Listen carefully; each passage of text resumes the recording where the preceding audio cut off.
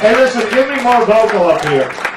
Pretty good. And a little less guitar back here. Yeah, it's pretty loud, man. Very loud.